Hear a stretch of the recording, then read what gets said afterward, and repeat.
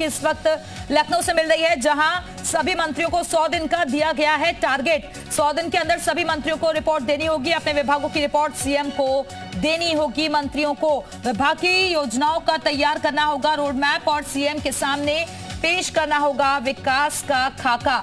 तो आज ज़िम्मेदारी संभाली गई है मंत्रियों की तरफ़ से, क्योंकि विभागों का बंटवारा पहले ही हो गया था, लेकिन अब 100 दिन का टारगेट दिया गया है। सभी मंत्रियों को उन्हें अपनी परफॉर्मेंस का रिपोर्ट कार्ड पेश करना होगा। 100 दिन के बाद और ये रिपोर्ट देनी होगी मुख्यमंत्री योगी आदित्यनाथ को, क्योंकि कहीं पर भी लापरवाही, कोताही बर्दाश्त नहीं की जाएगी और टारगेट के साथ काम करना होगा। अपने अपने विभागों में जो कामकाज है, उनको संभालना होगा।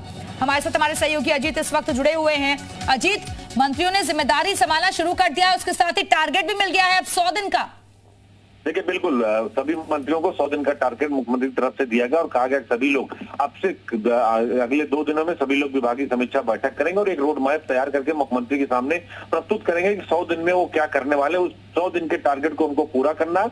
जो पीडब्ल्यूडी मंत्री हैं जितिन प्रसाद उनसे बात की कर रहे थे हम तो उन्होंने सीधे तौर पर कहा कि सौ दिन का सर, सर, सरकार ने टारगेट दिया सीएम ने टारगेट दिया उसको पूरा करेंगे। डिप्टी सीएम केशव प्रसाद मौर्य ने भी यही बात कही कि सौ दिन का टारगेट है। एक लाख गाँव तक हमको विकास की रोशनी पहुंचानी और जो प्रधानमंत्री और जो मुख्यमंत्री की जो विजन है उसको हमको आगे बढ़ाना तो आप सभी मंत्रियों को सरकार के जो बावन मंत्री जिसमें से दो डिप्टी सीएम पचास मंत्री सबको टारगेट दे दिया गया। सौ दिन की रूपरेखा तैयार करेंगे विभागीय समीक्षा करेंगे और एक बार फिर प्रस्तुतिकरण प्रेजेंटेशन करेंगे मुख्यमंत्री के सामने। यानी पहले ही दिन पीएम योगी एक्शन में नज़र आए और कार्यभार ग्रहण करने के साथ ही टारगेट दे दिया दिव्या। चलिए बहुत बहुत शुक्रिया आपका अजीत इस जानकारी के लिए। तो एक्शन मोड में नज़र आ रहे हैं मुख्यमंत्री योगी आदित्यनाथ और अब मंत्रियों को आगे के लिए टारगेट भी दे दिया गया है।